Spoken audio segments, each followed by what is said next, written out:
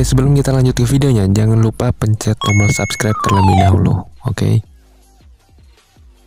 Oke, langsung gas saja download aplikasi VS Code-nya yang full pack dan unlock all filter dan semua fiturnya premium semua. Kalian langsung download aja di bawah di deskripsi aku udah sediain di situ.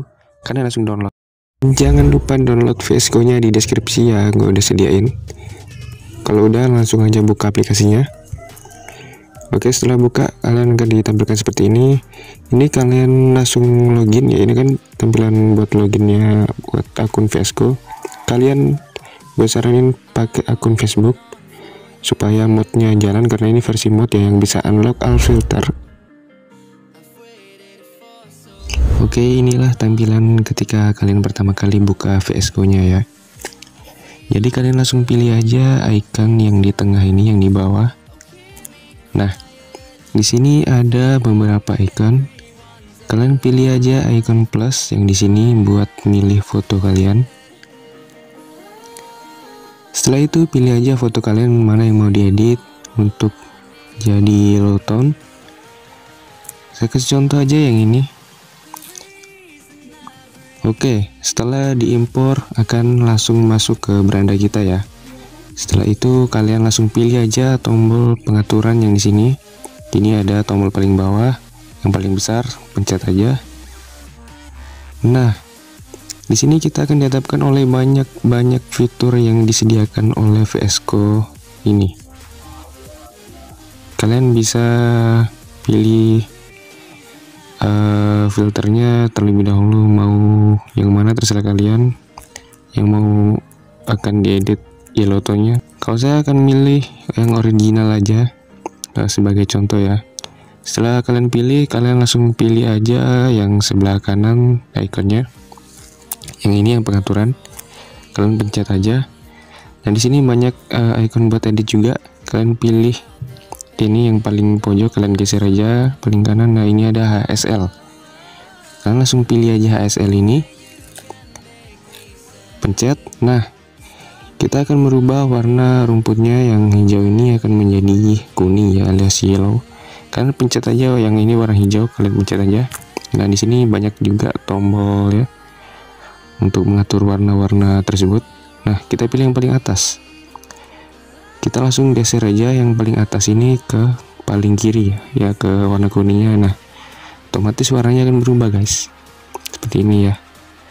Nah, pilih aja yang paling pojok. Nah dia akan berubah jadi warna kuning ke keorenan ya. Ah ini udah jadi. Kalau kalian mau uh, uh, memperjelas atau memperpekat warnanya kalian langsung pilih aja ke warna kuning ini sebelahnya. Nah di sini juga kalian bisa edit lagi warnanya kayak gimana terserah kalian.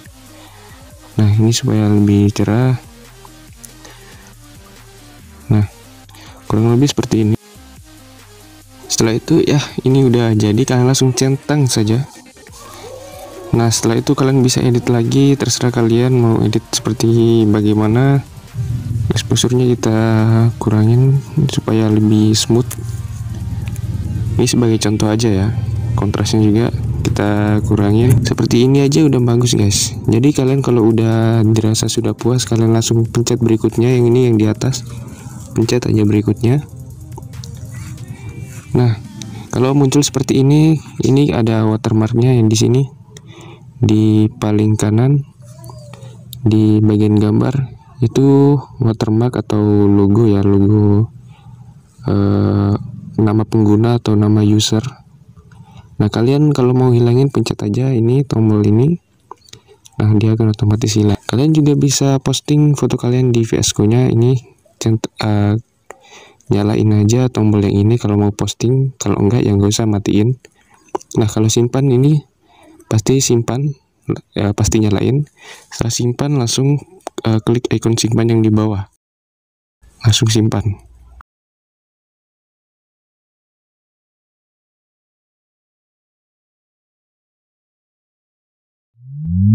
Oke, mungkin dari kalian pasti pernah melihat uh, editan-editan seperti ini ya, mungkin dari teman kalian maupun dari selebgram. Nah, ini cara editnya gampang banget. Kalian nggak harus minta bantuan ke teman kalian buat edit seperti itu.